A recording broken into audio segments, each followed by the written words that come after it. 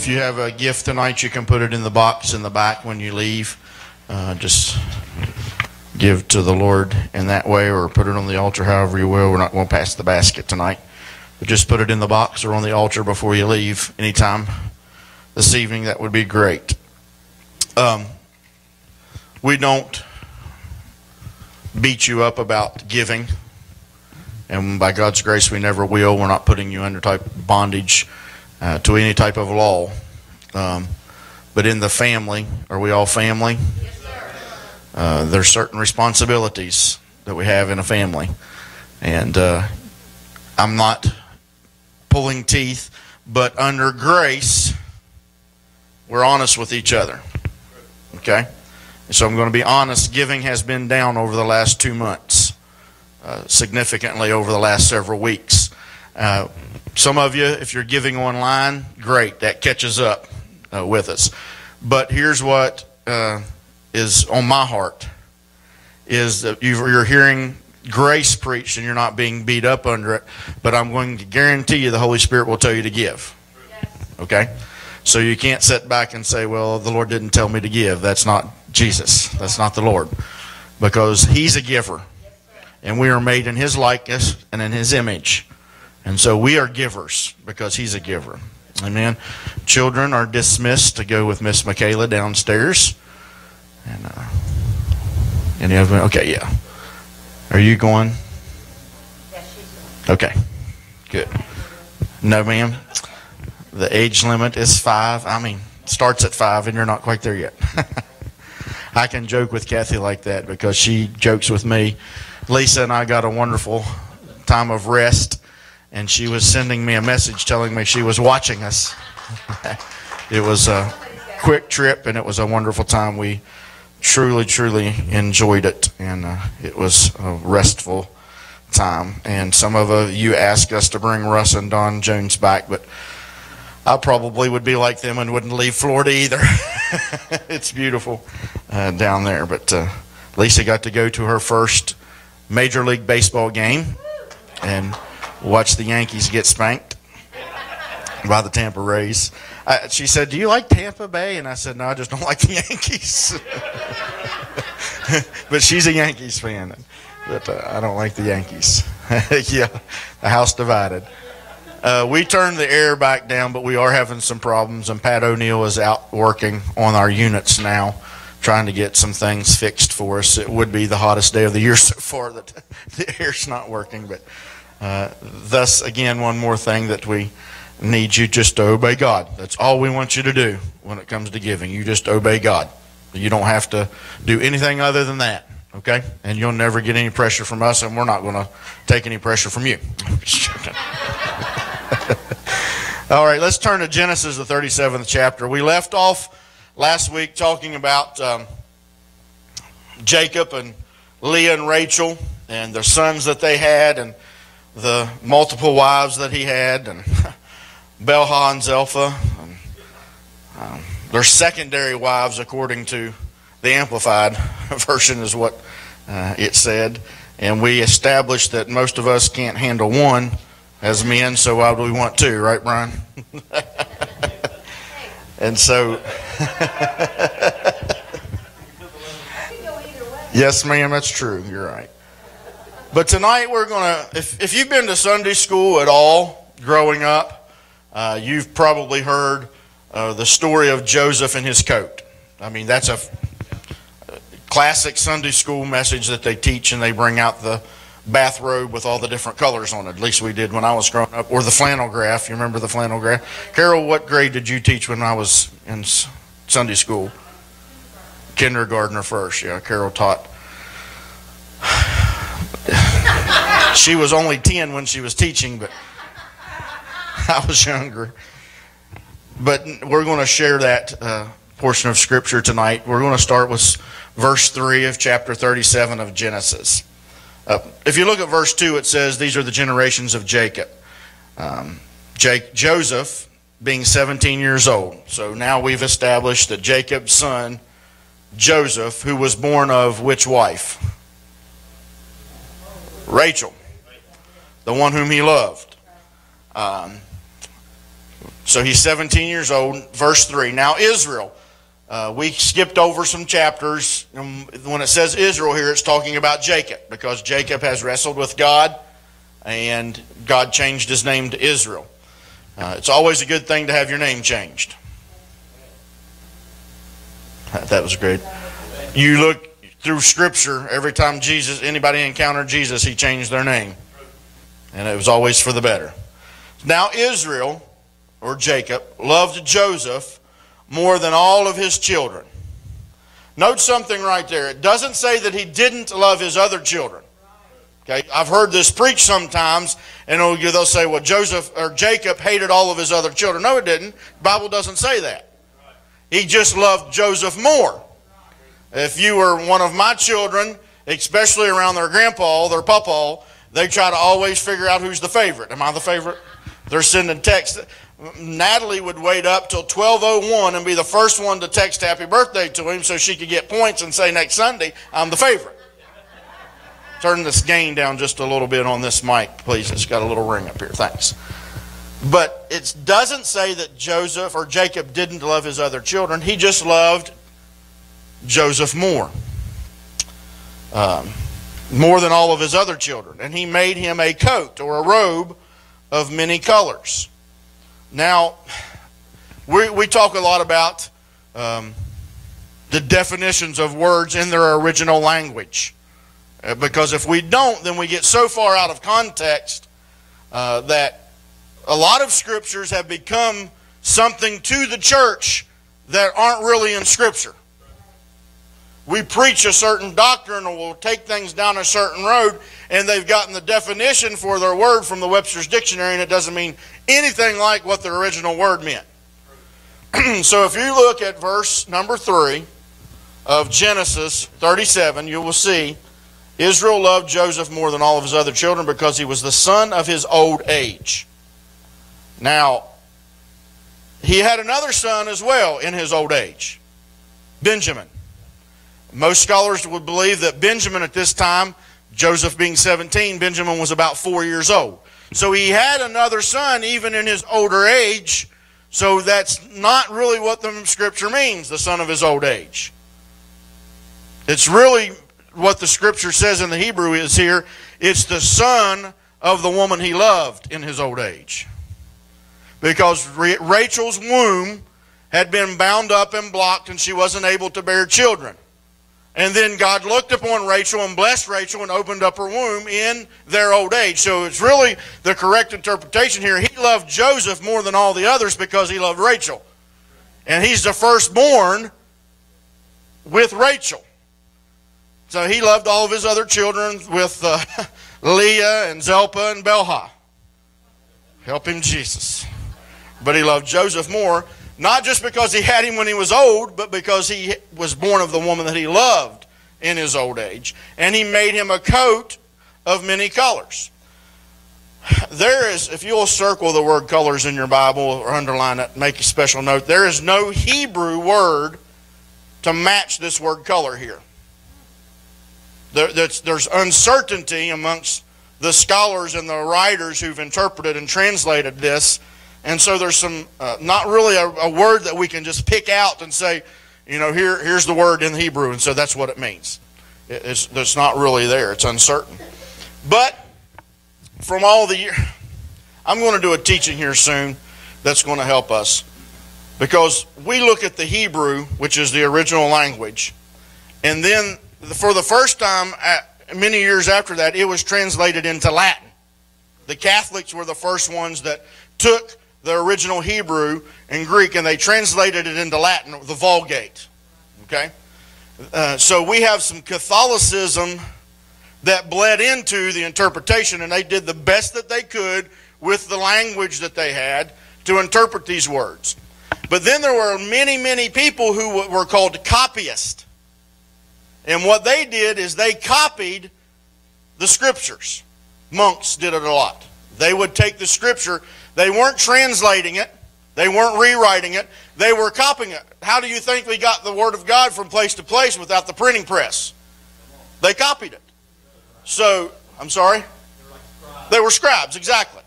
That's what the Bible would call scribes. Even in the Old Testament, we see the, the Pharisees and the scribes, well, the scribes, all they did was take the original Hebrew and they were recopying it. So the synagogue in Bethlehem had a copy, the synagogue in Bethany had a copy, the synagogue in Jerusalem had a.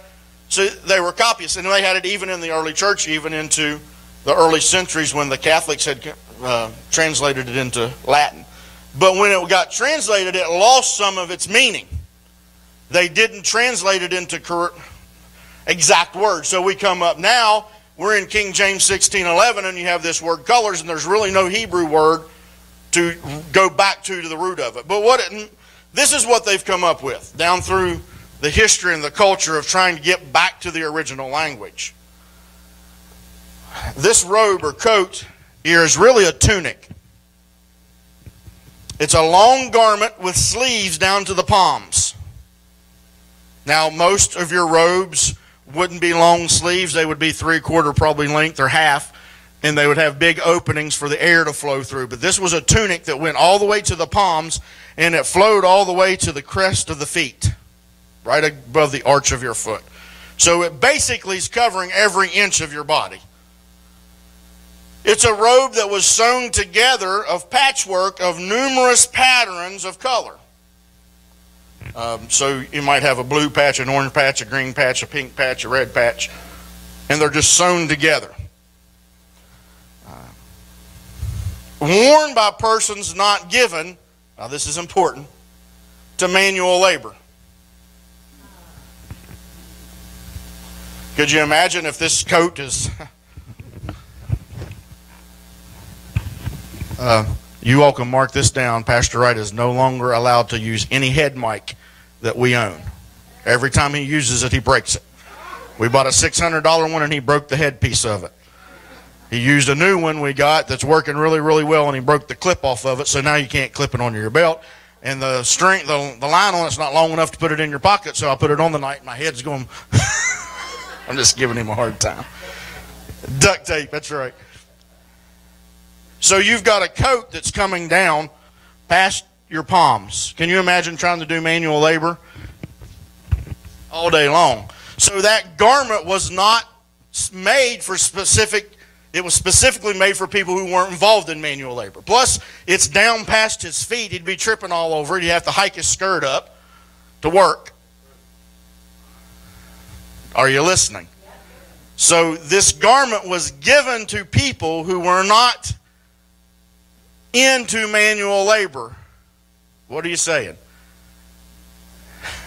he didn't have to work for it. I'm sorry? Man, he gave it to management, yeah.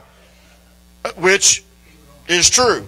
Israel gave this coat of what we call many colors. It's really a coat of favor. He, he gave it to him because he favored him over his other brothers and the same word in Hebrew, Hadesh, is the same word for grace. Grace and favor are the same exact words in Hebrew. So wherever you see favor in the Old Testament, it's grace. So when he showed him favor, he's really showing him grace. So he really didn't give him a coat of many colors, he gave him a coat of grace. And even the coat itself signified and represented that he wasn't going to have to do manual labor. I was excited about it. It's a token of the Father's love for the favored son. He gave him a coat because he's favored. It was a token of his love. Now listen. he gave it to him as rights of a firstborn. Go to First Chronicles, the fifth chapter.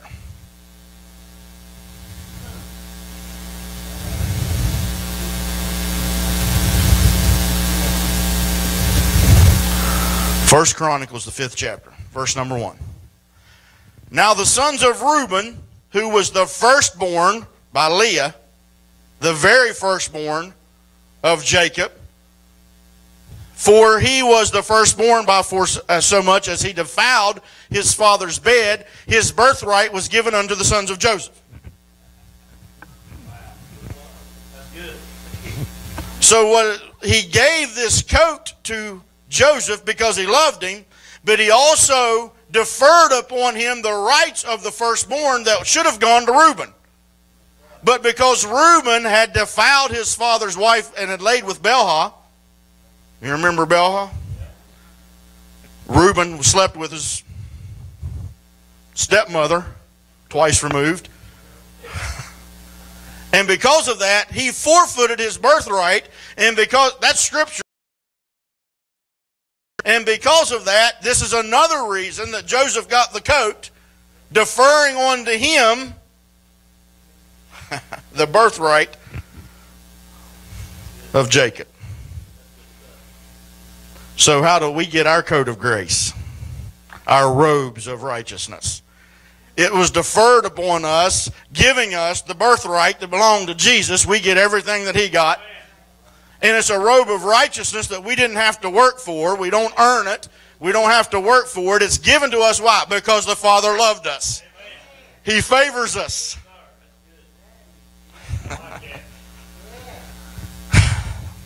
the Gill's exposi- exposition um, commentary says that the colors might represent the various graces of the Spirit of God implanted into Joseph. Dreamer, leader, organizer, these different the different colors representing the different graces or gifts that God had given to Joseph and implanted in him. And the needlework on this garment represents the righteousness of God. That's what Gill's exposition says. Now, I said there wasn't a word in Hebrew for colors, but there is a word in Hebrew for coat. Here. See the word coat in verse 3? It's kathon, K A T H A N, kathon. It's the same word used in Genesis chapter 3, verse 21, where it says that God covered Adam and Eve with the skins of an animal. He coated them, he put a covering over them of an animal sacrifice. Same word is used here at Kathon, where it says he made a covering of grace and favor and gave it to his son. Anybody take that? I'll take it. now, the Latin Vulgate first translated this word coat as a tunic polymita. Poly meaning many, mita meaning color, and that's why we have what we have in the King James coat of many colors. When it's really a coat or a tunic uh, given to the firstborn. I thought that was good. So, why did Jacob or Israel love Joseph more than he loved his other brothers? He was a son born out of blessing. So the Bible says that he saw God saw Rachel and he blessed her and opened her womb. So he was a son born out of blessing. He's a son born from a woman that Jacob loved. He was a son that Jacob had always wanted. Why? Because he really didn't want Leah. He wanted Rachel. Joseph was given a coat of grace, and we're given a coat of grace and favor. Verse 4. This coat of grace or favor, I'm going to refer to it as the, uh, a coat of grace or a garment of grace. When his brothers saw it on him, he wasn't very popular. Let me tell you something. When people see the grace and the favor of God upon you, not necessarily the world, most of the times it's the brothers and sisters in the family, the church, that get stirred up the most about the favor that God's put on your life. God blesses you with a new car or a new house, or you get a promotion at your job and you're wearing that favor around, and I'm supposed to rejoice with you when you're rejoicing, not gossip. and that's what happened. His brothers looked at that. Says they hated him and they could not speak peaceably about him. Now, I don't know about you, but my mama said if you can't say nothing nice about somebody, don't say nothing at all. Were y'all told that growing up? That's what my mom always said. Jamie, if you can't say something nice, then don't say something at all. Don't say anything at all. Then I will be quiet a lot of times in the church. But that's what it says. His brothers, they hated him. Verse 5, it says, Joseph dreamed a dream. It was not bad enough that they already hated him because of the coat that he had, the grace, the favor that was on his life, but now he thinks he's some big shot and he's going to tell us about a dream that he's got that we're going to bow down to him and we're going to. Have you read the story? You'll, you'll find it there. They, he became increasingly unpopular and more hated. Verse number 9. So not only did he have a first dream, but then he has a dream a second time another dream. Basically saying about the same thing. You're all going to bow down to me. I'm going to be better than you. I'm going to be popular. He wasn't gloating about that. He was 17. He was young and full of zeal, but not a lot of wisdom. Because not everything God shares with you are you supposed to share with everybody else because they can't accept it or handle it. Uh, you know, if God tells you, if He says, Joe, this is what I'm blessing you with, this is the gifts that I'm giving to you, uh, it's not for Joe to stand up next Sunday morning and get TV cameras out and say, look, this is what I am and this is who I am. Joseph wasn't doing that because he was bragging or being brash about it. He was, he was excited that he had a dream. And he wanted to tell everybody his dream. Yeah, he was 17 verse number 19, 17, verse number 17. Okay, let me back the story up here. So he's got a coat of favor. He's had two dreams. His older brothers are out in the field. They're keeping the watch over the dad's flocks. Because remember, we talked about it last week when Jacob left Laban, he took the better sheep with him. He had all kinds of animals and flocks. So they're out watching the sheep, and he sends Joseph. He says, Okay, you're old enough now. I'm going to send you out. You're going to go check on your brothers, report back to me. So he goes out to the fields where they're supposed to be. They're not there. He finds a man, says, Where are they? He says, They're in Dothan. Dothan is 12 miles uh, west of Syria. Dothan is one of just a very few cities mentioned in the Old Testament that are still called the same thing today. Uh, it's called Tel Dathan in Syria. They put that word Tel in front of it, only means city. That's only the word Tel means city. So Tel Dathan is the city of Dathan. So today, you could go 12 miles west of Syria, the border of Syria, and you're going to find Dathan. It's still there today. It means two wells or two cisterns. That's what Dathan means. It was Dathan was along the caravan route, the trade route from Syria to Egypt. It's important. You know these things. So Joseph goes down and he finds his brothers not in the field where they're supposed to be, but he finds them over in Dathan. Verse 19 says, They saw him coming, and when they saw him coming, they said, Oh, brother, here comes that dreamer. I mean, it's what the Bible says. They were fed up with him, and he, they saw the coat. They could see it a mile away like neon flashing lights. Remember, anybody ever remember John Daly golfing in his plaid? that's that's what Joseph looked like coming down the trail, and his brother said, "Here comes that dreamer," and they conspired amongst themselves to kill him. They wanted to kill Joseph. They were so sick of their brother. Now they wouldn't speak an ill word against him, but they wanted to kill him.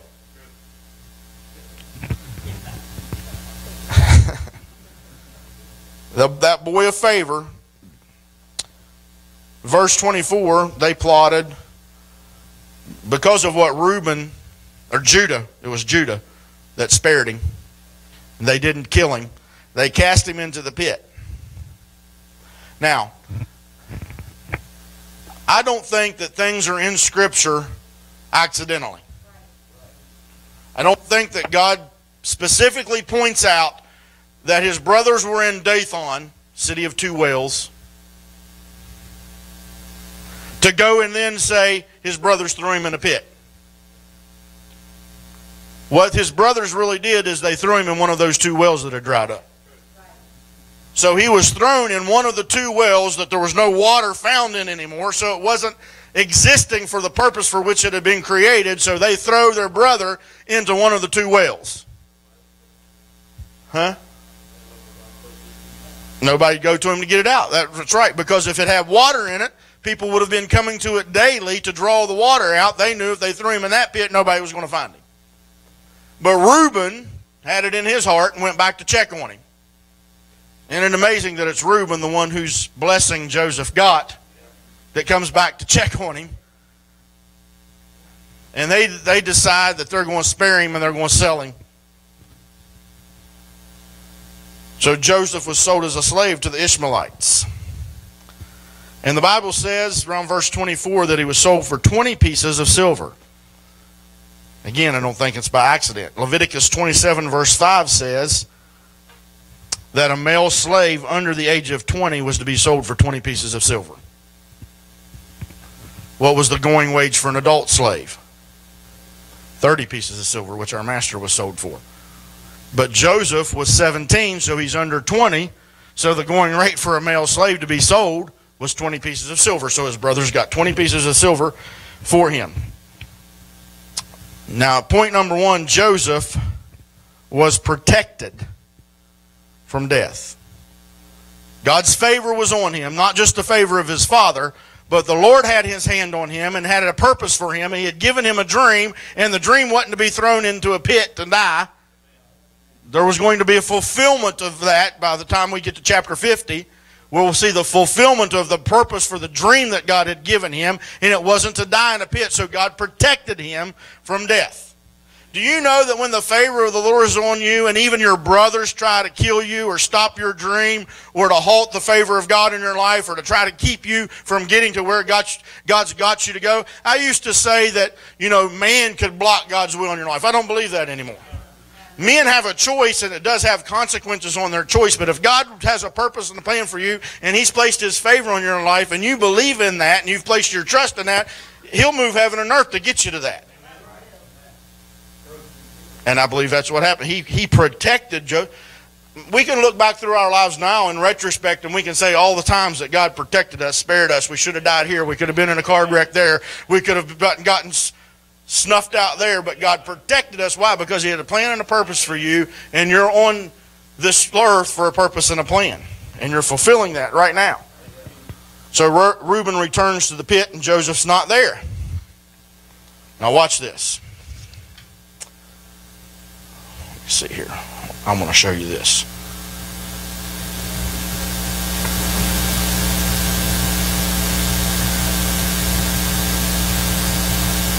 Okay. Verse 29. I, I, know. And Reuben returned unto the pit, and behold, Joseph was not in the pit. And he rent his clothes. You see this in Scripture a lot. And what the word rent here, what, what it is, it's actually a Jewish, ancient Jewish custom called keriah. K E R I A H. K E R I A H. It's an ancient Jewish custom. It's the tearing of one's outer garment when a loved one has died. Commonly done in the temple. Commonly, not always, but commonly done in the temple. And the renting, the one that tears the garment, the tear is done vertically, starting at the top around the neck, and it's torn from top to bottom exposing the heart area. Why? Because if you had a loved one to die, and you rent the clothes, and it's an ancient Jewish tradition, and you're renting from the top, starting around the neck, to the bottom in a vertical direction to expose the heart area. Why? Because that's where you grieve from. That's where the, the, the, the grieving comes from, is from the heart. When Jesus said, It is finished, and yielded up his spirit, the veil in the temple was torn from top to bottom. And once and for all, God removed the wall of hostility between man and himself by exposing his heart to creation. What was his heart? His heart was that there would be no barrier between him and us, that we could come boldly into him. And so when Reuben went back, Reuben was expressing, number one, he had to be concerned for his brother or he'd have never returned to check on him. And he, expo- he, he ex- uh, extends even more uh, emotion in it by showing us that when his brother was not there, he assumed that he was dead and he rent his clothes, exposing his heart of grief, pointing us to say that when Christ died for us and the, the veil of the temple was rent top to bottom, in the temple where this was most commonly done, that he would expose his heart to all of creation. Hmm. And this was done on the backdrop of the inconceivable act of love the death of his son Jesus. The heart of God is found within Jesus. Jesus is what God's saying. Jesus be the center. We sang it. That's what God's saying to us. He's always saying, the Holy Spirit has come pointing us to Jesus. You can't get to God unless you come through Jesus. It's all about Jesus. I've had some discussions recently with a, a lot of different people from a different across denominational lines, and one thing that I hear constantly is these guys pounding on one another because oh that's false doctrine and oh this. And I told a couple of them this week. I said, listen, if it comes down that they're teaching that Jesus was born of a virgin, that he lived a sinless life, that he died on the cross and shed his blood, that he was placed in a borrowed tomb and he rose three days later. He lived on the face of the planet for 40 days in his resurrected body, appearing to 500 at one time and different times to many others, and then he, he ascended to the right hand of the Father, and he's ever living right now to intercede on our behalf to make sure we get the benefits of everything that he promised us in the kingdom, then I don't care what else you're preaching. Baptized backwards, frontwards, dunk three times, drink real wine, don't drink real wine, dip it in bread, don't have the bread with the wine. Uh, it doesn't matter. And, I'm, Lord, help me, Jesus. But you, to get on Facebook or to get on social media or to stand, this is what just cooks my gourd is people get up and pulpits and name other pastors in the valley and start blasting them because they preach this or they don't believe that. And I'll say, have you had one conversation with that brother to understand what he believes or what he preaches? Have you listened to one message that he's preached? No, you're thinking just because he's not a part of my church or my denomination, he doesn't know what he's not preaching the whole truth and nothing but the truth so help him God because he doesn't agree with me 100%. Man, there's going to be some shocked folks. You mean they made it? yep. Yep, they did. Hey, I hear you. That's true. Verse 34 Jacob now rents his clothes when Reuben returns and tells him that his son is dead. You know the story. They take his clothes, his garment, his garment of grace. Watch this.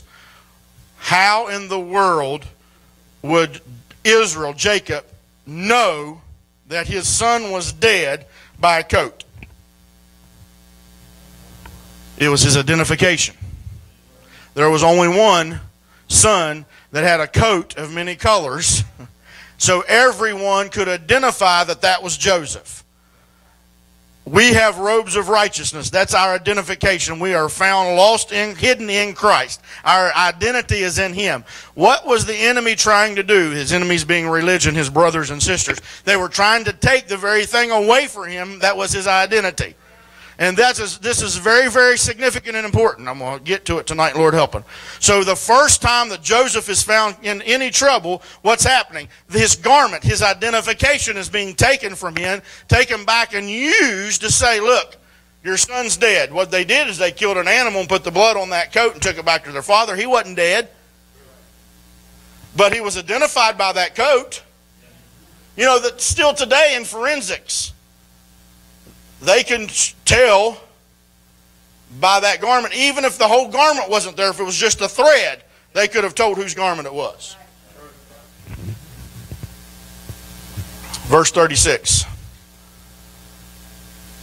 So Joseph has been protected from God, by God, from death, thrown into a pit, and Joseph was sold to the Ishmaelites for 20 pieces of silver and now the Ishmaelites or the Midianites, they were really the same people. They were descendants of Ishmael that lived in Midian.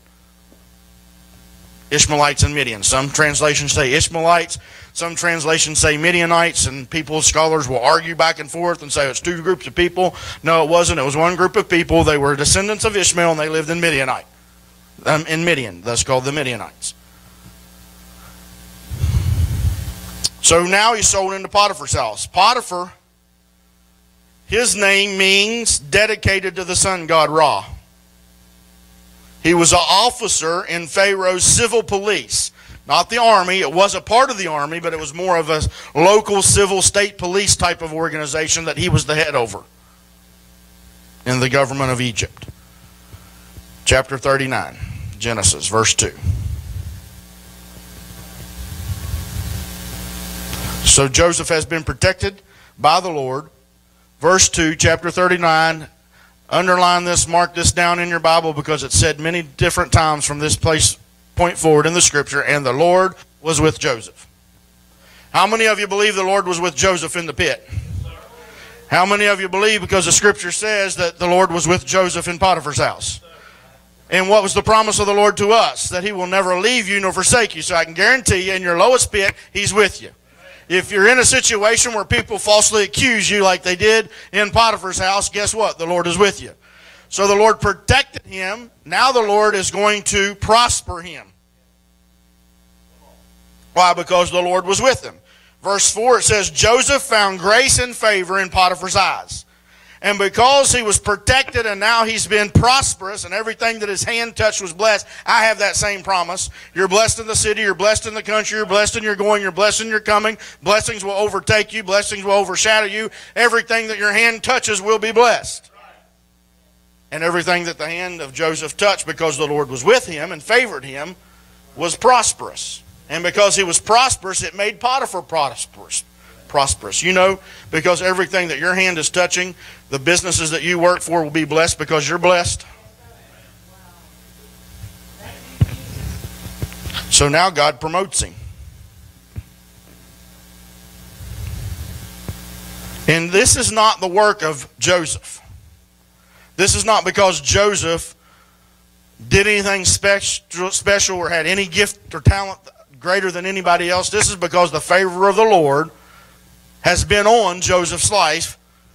And his father recognized it and blessed him with a coat, and now his heavenly father is continuing to bless him in everything that his hands touch.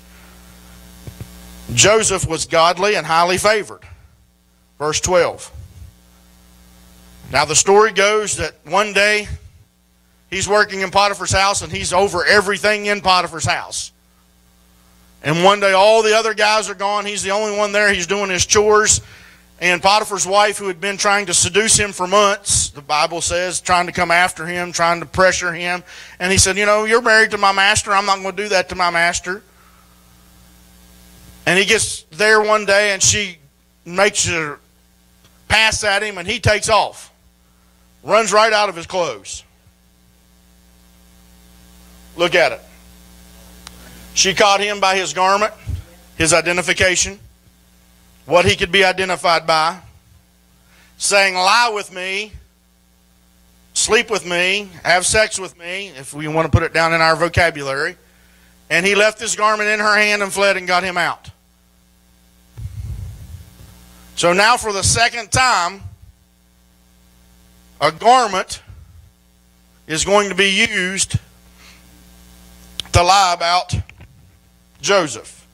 Twice now, the enemy is trying to cause him harm, stripping away his identity. Listen, folks, one thing I can tell you is that your robes of righteous, righteousness cannot be stolen from you. If the devil couldn't give them to you, he can't take them away from you. If you didn't work to earn them, then you can't unwork to unearn them.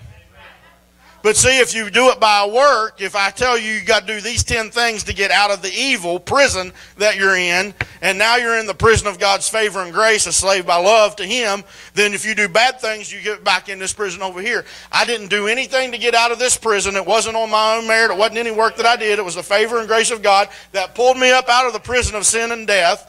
And now I'm a love slave to the Lord. And there's no bad thing that I can do that will get me out of that prison. And so the robes of righteousness that are by faith can't be stolen. The enemy can't come in and do what he was trying to do to Joseph by stealing his garments. Verse 20. Joseph is put he's falsely accused. He's put in prison based on a lie. You know everything that the enemy says about you is a lie. Everything he says to you and about you is a lie. He's an accuser of the brethren. He's lying to you and about you, and the lies that he's telling about you and to you are to do nothing but imprison you. Verse 21. Somebody say, But the Lord. But the Lord was with Joseph, and the Lord is with you. And so when the liar, the falsely accuser of the brethren comes to you and tries to lie to you, all you have to say is, The Lord is with me. My big brother's standing behind me, and you can't bully me. And because the Lord was with him, he showed him mercy, and he gave him favor and grace in the sight of the prison keeper. So once again, he's protected from death, he's prosperous, and he's promoted. Why? Because the Lord is with him. Somebody say, The Lord's with me. Genesis chapter 40. He has a gift. I think that his father saw that in him, and that's another reason he gave him that coat. Remember, Gill's expo- exposition said that those patches of different colors could have been representations of the graces or the gifts, kairos, kairos, not kairos, kairos, which means grace gifts that his father saw in him. So he was an interpreter of dreams. You got the baker and the butler. They both have dreams. Joseph interprets them. The baker gets his head cut off as Joseph interpreted his dream. And the butler gets restored to his position. He said, Remember me when you get to Pharaoh's house. Chapter 41, verse number 9. Chapter 41, verse number 9. Pharaoh has a couple of dreams. Nobody in the kingdom can interpret his dreams, and the butler remembers, oh, wait, there's a guy down there in prison, a Hebrew boy, and he interprets dreams. And they summons him. Say, go get him. I do remember my faults this day. He forgot him. That was his fault. He had forgotten Joseph, and he told Joseph that he had remember him. What do butlers do? Open doors and close doors. So he's about to open a door for Joseph. They fetch garments. That's right. And what does Joseph do? It says he shaved himself, he cleaned himself up, and he put on new raiments of clothing. So he put on a. He knew that he wasn't going to be presentable to the king in his prison suit, so he changed his clothes. Again, a garment. And he goes to Potiphar. Verses 40 through 45, Joseph is promoted to the second over all of Egypt. Now, we can go into Potiphar's or to Pharaoh's dreams, seven years of bad of good soil. Store it all up, stock it all up, keep all the crops you can because there's seven years of famine coming. And Joseph interprets that dream. So Joseph, uh, Pharaoh says, You're the wisest man in all of Egypt. So he promotes him to second over all of Egypt. Watch this, verses 40 through 45. He gave him his ring. Sounds like another story in Scripture where the son's ring was restored to him. What is that? That's his finances. He gave him the power to all of his wealth. Without asking any questions of anybody else, you have all the wealth of Egypt at your disposal. I'd say he was blessed. He gave him his royal clothes, fine linens. He had the best garments of anybody in all of Egypt. He was just in prison a second ago, and now he's wearing Armani. If that's still a brand name, I don't know. Saks Fifth Avenue. He gave him a gold chain. What was that? He was identified everywhere he went that he was under the protection of the Pharaoh. You better not touch this man. And he changed his name. How many of you got a name change? I sure did. I got to take on his name. now, this is significant. Verse 45. Go to verse 45. Somebody want to try to pronounce that name for me? Zaphnath Panani. Just best we can do. Let's, I like it. We're going to call him Z. So his uh, Z, his Hebrew name is Joseph, which means increaser. We talked about that last week when he was born of Rachel. His name mean to increase or to add to. But now his Egyptian name means Savior of the world. Now, why would his name be Savior of the world? Now, this is not after all that he did for Pharaoh in Egypt. This is before. As soon as he interprets the dream to Pharaoh, and Pharaoh puts him second in command of all of Egypt, then he gives him power to all the finances. He gives him final clothes to wear, wear royal uh, authority. And then he says, now after those seven years of tremendous harvest and crops, he gave God gave Joseph the wisdom how to store all that up so that when the seven years of famine came, literally, not just biblically, but historically, that you can trace it back to Joseph saving the known world at that time for, for storing up all the harvest of the seven years of plenty. So prior to all that, Pharaoh becomes a mouthpiece of God and prophesies that Joseph will be the Savior of the world. Now, he was not the Savior of the world as Christ is the Savior of the world, but it is a type and shadow of Christ who was the Savior of the world. He saved the world from a famine. Christ saved the world from death, sin and death through his sacrifice. So it, it, it's significant. So from pit to Potiphar to prison to Pharaoh's palace. In the pit, listen, the Lord was with Joseph. In Potiphar's house, when he's being falsely accused, the Lord was with Joseph. In the prison, when the prison is the place of forgottenness. He was being forgotten. The pit is the place of rejection. His brothers rejected him and threw him in a pit. People get in a pit all the time, they're feeling rejected. But when you know that the Lord is with you, you won't feel that rejection. Potiphar's house is the place of false allegations. The accuser of the brethren that will come in. A lot of times, the church, brothers and sisters, will get into Potiphar's house. Now, when you're in Potiphar's house, it's not anything that you've done, it's the false accusation of the accuser that will get you in that place. And then the, the enemy will try to put you in a prison. That's the forgotten place. You, and here's what you do. Well, the Lord hadn't, for he, the Lord forgot me. I'm not doing this or I don't have that or I don't that's the forgotten place and when you're in the forgotten place but Joseph remembered even in the pot, in the forgotten place the Lord is with me and in the palace the Lord was with Joseph that's the place of prestige and promotion and prominence the place of influence and impact. And the Lord was still with him. So from the pit of the palace, one thing remained the same. The Lord was with Joseph and he showed him favor and grace. Joseph walked in favor. One of the things that we have to realize is that Joseph walked in favor, and because he walked in the favor of God, he walked in forgiveness. You know, Forgiveness first has to come, and it has, and we have to receive that forgiveness from the Lord.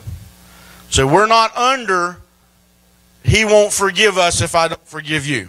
So that's, that's, that's a false doctrine. That's an old covenant mentality that puts the work on you that, Ed, if you don't forgive me, then God's not going to forgive you. No. Because God has forgiven you, you know how to forgive me. But I'm going to tell you right now where I believe most people that I encounter are right now with forgiveness. Not all, but most. If you rightly divide the word and you can explain so easy a, uh, a child can understand it that God's forgiven them through what Jesus did. And they can accept that. And most will begin to understand with proper teaching and explanation of the word that because they're forgiven, now they have the ability to forgive others. Most people will say. But here's where most people are that I've encountered personally. They can't forgive themselves. God has forgiven them, and you can sit there and talk to them, and they'll say, Yeah. And after some proper teaching and training, and after a while, they'll get to the point that they understand because God has forgiven me, I know how to forgive others now, even the ones that have hurt me the worst.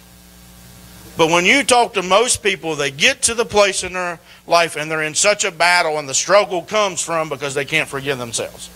Now, let me tell you something. If God Almighty in heaven, that knows every single inch of our heart and our desires and our intent, loves us and will forgive us, let it go and forgive yourself. You say, well, that's harder, that's easier said than done. No, just do it. For, forgive yourself. Quit. See what? That's the that's an allegation. That's an accusation from the enemy. And what does he do? He lies. Why is he lying? He's trying to steal your identity from you. And he will try to keep you walking outside of that garment of grace that God's given you to walk in because he can't steal it. He can't take it away from you. So if he can't take it away from you and he can't steal it, what's he going to try to do to you? He's going to try to get you to not believe that it's rightfully yours, that you can't have it, that you don't deserve it, that you don't earn it. Yeah, that's why it's called a garment of grace. You don't deserve it. But I am worthy of it because He gave it to me, purchased it, bought it for me with His blood. The Hebrews says it if your heart condemns you, your own heart will condemn you. And you won't forgive yourself, God's greater than your heart. The first coat his dad gave him as you stand to your feet. And his brother stole it. His second coat, someone gave him, and Potiphar's wife took it. When he got to prison, he was given an inmate garment, and was taken when he left prison to go to the palace. Pharaoh dressed him in fine linens. Only the king could give them to him. And there wasn't anybody that could take him away from him. Our robes of righteousness were given to us by the king. No man gave them to him, so no man can steal them from me. I can't be falsely accused that they're not really mine, and I'm not in any prison that would uh, condemn me as a prisoner. I've got royal linens because I am a king and a priest. So remember, Joseph was protected by the Lord's favor. He was promoted through the Lord's favor, favor, and he was made prosperous by the Lord's favor, and God promoted him. And that's the plan God has for you. Amen. And his garments of grace, his coat of favor, is on you, covering you. It's a covering. The word anointing means to be painted.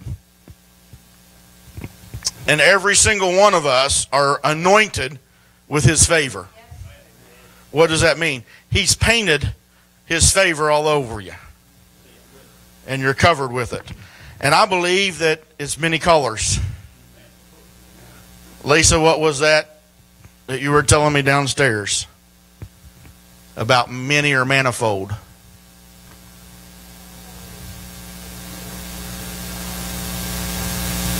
Um, yes. Okay. God, the, the angels go around the throne. They encircle God and they cry out, Holy, holy, holy. And what they're every time they pass the throne, they've never stopped saying holy because every time they circle the throne, they see another aspect of God. There are colors in God that we've never seen. There's aspects of God that we've never seen. He's manifold. He's multifaceted. And I believe that's evident in his body. There's many colors, there's many gifts, there's many favors on us. And so all together, we're lovely. Together we're better, together we're stronger. Quit trying to do it on your own. Amen. just bow your heads for just a moment and contemplate the words that you've heard tonight. And maybe you're struggling with that, dealing with that unforgiveness of to your about yourself. You've never been able to quite forgive yourself. Something you said, something that you did, or even the lie that you've bought into. If you if that's you, if you're in that arena in that area of dealing with and trying to overcome unforgiveness to yourself, would you just put your hand up and put it right back down?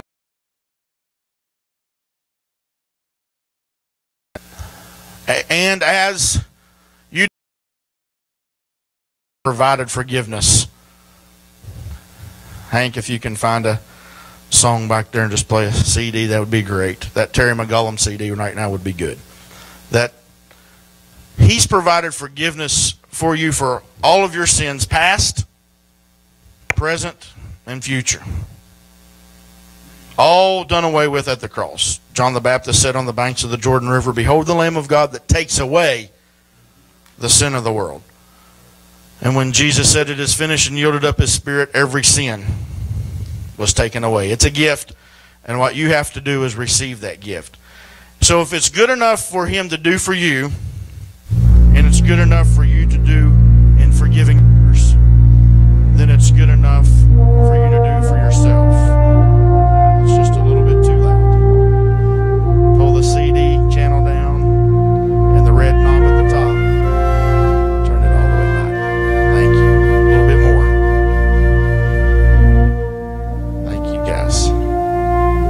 So it's good enough for you to forgive your, for yourself.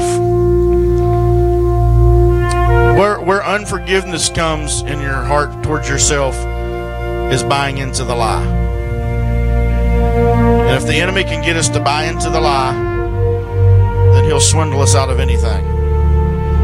Your identity is found in Christ.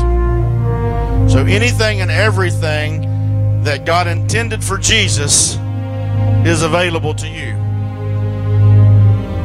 And if he would look at Jesus and say, This is my beloved Son, in whom I'm well pleased, then he'll look at you tonight and he'll say, You are my son and my daughter, in whom I'm well pleased. Now, if you've not accepted Christ, then the first thing that you need to do to forgive yourself is to accept the forgiveness that he's offered to you for your sins. But if you have, then don't buy into the lie of the enemy. Amen. Would you join hands with someone near you if you feel comfortable with that? Some of us raised our hands tonight, and as I looked over the congregation, it's the same sentiment has been true. What I've experienced with others is we're dealing with unforgiveness toward ourselves. So just ask the Lord as He helps your brothers and sisters to forgive themselves. Father, we thank you for Jesus. We thank you for the blood. We thank you for the blood that's not lost its power, that still heals and saves and delivers, sets free, and brings forgiveness. Father, I pray for every person under the sound of my voice right now that as we receive forgiveness from you, we offer forgiveness to others and we accept forgiveness of ourselves and for ourselves tonight. And then we give you praise and honor and thanksgiving for what you've done in our lives and what you're doing in our lives. Because he who has begun a good work in you, here's the word, he's faithful to complete it. You may drop those hands and lift them and just honoring the Lord tonight and blessing him with the fruit of our lips. We offer up praise and glory and honor and thanksgiving to the one who is, who is, and who is to come. We bless you, Father, Son, and Holy Spirit. We praise you, Jesus, the great I am, the mighty God, the everlasting Father, the Prince of Peace. We bless you, Father. In Jesus' name. Would you just put your hands together and bless him tonight? Thank you, Father. We sure love you.